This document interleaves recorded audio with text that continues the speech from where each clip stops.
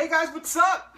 This is episode one of what I hope to be a weekly Dodger Vlogcast vlogcast where I give you guys my opinions as a fan of what the Dodgers should and shouldn't be doing because I'm tired of everybody being so politically correct about it on the radio stations and on the TV stations. So I'm going to give it to you guys as a fan, okay? Here it is, cut and dry, no bullshit.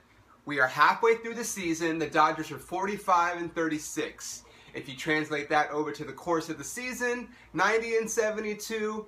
Right now they're in first place. They're three games up. Are they going to get better? I hope so. If they don't, they're still three games up. They finished in first place last year. Did they win the World Series? No. So if they finish in first place this year and with a with with a slightly uh, worse record, but they win the World Series, I don't care. I'm fine with that. Clayton Kershaw, maybe he's not 27 and 2 or whatever the hell he was last year. He's actually under 500, but I'd much rather have Clayton maybe somewhat struggle, which isn't even a struggle. His ERA is 3 but because we're so used to him being so great on a year-in basis that everybody thinks he's struggling, he hasn't gotten the run support that he got last year. His ERA is okay, yeah, it's above, it's a run higher, but I'd rather have Clayton maybe finish the season 17 and 10, 16 and 10, and then take us all the way to the World Series then to have Clayton be 22 and 2, and then at the end of the season he implodes against the Cardinals. I'd much rather have a World Series title. So far, I'll tell you this, Adrian Gonzalez and Justin Turner are the MVPs of the first half of the season. Justin Turner has done so much for the Dodgers this year and last year above and beyond what anybody could have thought he was doing. He's got 11 home runs this year. He's got like 36, 39 RBIs or something like that. He's batting above 300 again for the second year in a row. And Adrian Gonzalez just is consistently leading the league or close to leading the league in RBIs, doing everything gold glove caliber first base without even anybody mentioning him because he's not flashy. He just goes about his business and does it. Zack Greinke probably going to win the Cy Young Award this year. He's 6 and 2 with an ERA like 1.58 or something like that. he's got like 10 no decisions. He should be like 16 and and and oh probably with more run support.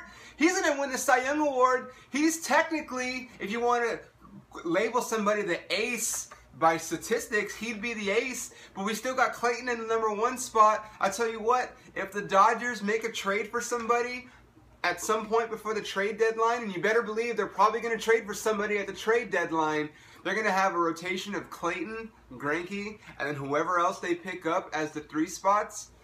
I mean, I don't, like I said, the last few years, the Dodgers have had much better. Er, their record is about the same this year as it was last year. But at the end of the season, they finish, you know, with 92 wins, 94 wins, and they haven't got a World Series. I'm fine with them winning 90 games this year if it means they win the World Series. I don't want to talk about who won the World Series last year, but they didn't win the most games in the National League, and they won the World Series.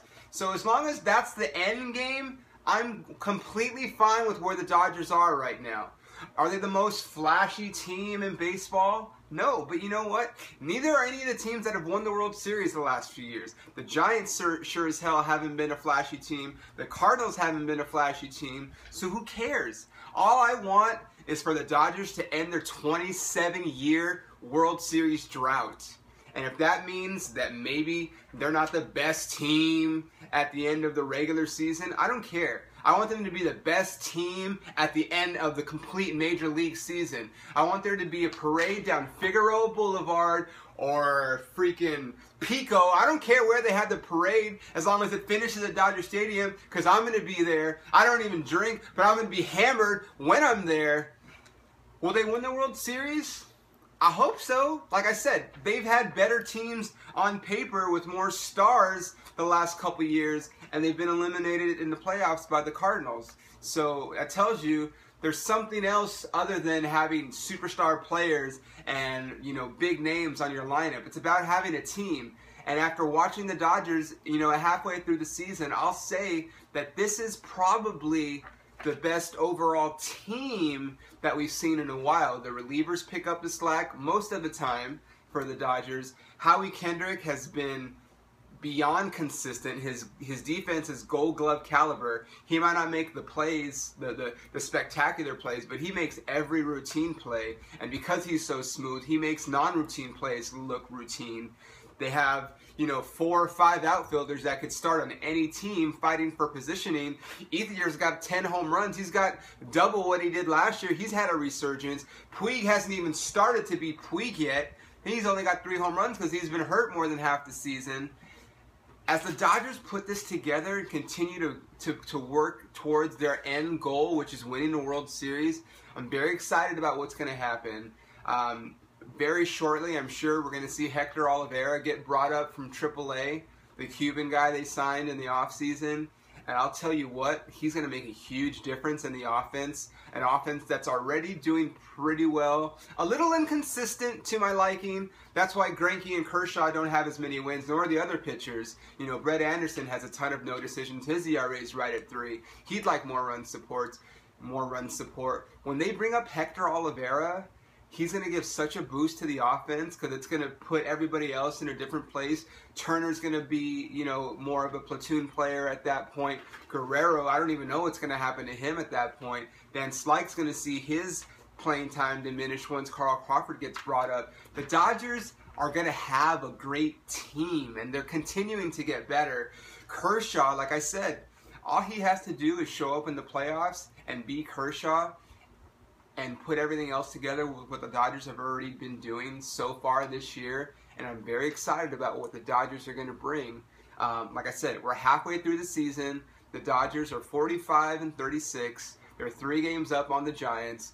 The Padres and the Diamondbacks aren't even above 500, so let's let let's worry about them getting to 500 before we start worrying about them being a threat to us. And let's just see what the second half brings. I'm looking forward to what moves they might make at the trade deadline because I know Andrew Friedman and the staff have some pretty pretty good ideas in mind just because that's what they they're fearless. They've already traded away Kemp Gordon. They traded away clubhouse favorite Uribe. They don't they don't have any loyalties to anybody because they're all brand new. So they're going to do whatever they can to bring a championship to the club. And maybe it's not going to be a superstar but there's people behind the scenes crunching numbers and doing analytics stuff that us uh, the common fan, like I'm a baseball guy and I don't understand some of their analytics, but like I said, the last few years, the world champion, whoever wins the World Series, hasn't been one of those teams that you look at the names and you're just you're blown away by all these big names and superstars. The teams, the best teams, and people that do the little tiny things that we don't even see sometimes, you know, as a common fan. Those have been the teams that have winning the world that have been winning the World Series. So if that's what the Dodgers have in mind, and they're already sitting three games up at the halfway point, I'm very excited about what's to take place. Look for my blog, follow this. It's called My Blue Thoughts. We're going to be here on a weekly basis. Thank you for tuning in. I'll see you guys next week.